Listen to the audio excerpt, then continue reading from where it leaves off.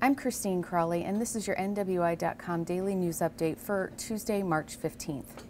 The Kankakee River remains under a flood warning through Thursday night as water levels continue to drop.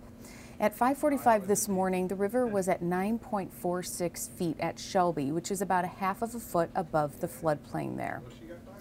The Indiana Department of Labor has found the University of Notre Dame at fault in the fall death of student Declan Sullivan.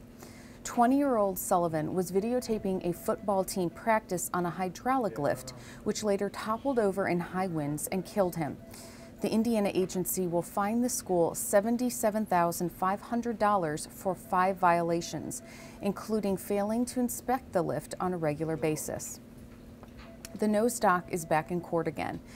Opening arguments are expected to start today in Lake County Court in a malpractice case against former Merrillville ear, nose, and throat doctor Mark Weinberger. Weinberger and a physician's assistant are accused of causing the September 2004 death of patient Phyllis Barnes. The suit claims Weinberger misdiagnosed Barnes, missing the throat cancer she actually had, which led to her death. Finally, keep up with the times for updates on the disaster in Japan as the country faces a rising death toll and radiation after its devastating earthquake and tsunami.